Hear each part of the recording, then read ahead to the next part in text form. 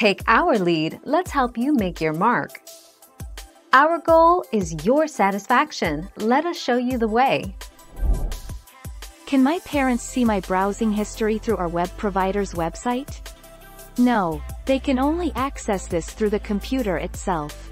However, your parents will be able to see that you have accessed history on your computer, and will eventually figure out what you have been doing.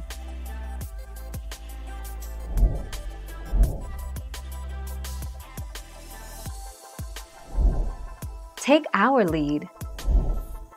Deleting your browsing history doesn't remove all traces of your online activity. If you have a Google account, it collects information not only on your searches and websites you visit but also on the videos you watch and even places you go.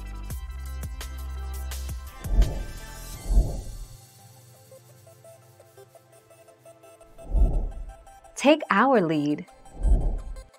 Can parents see deleted Google search history? Well they can't see it easily. They can contact your internet service provider and get your search history from them, if they even are allowed to give it. Your parents could have spyware like keyloggers installed in your device which can give them your search history. Thank you for watching. Please subscribe and hit the bell notification.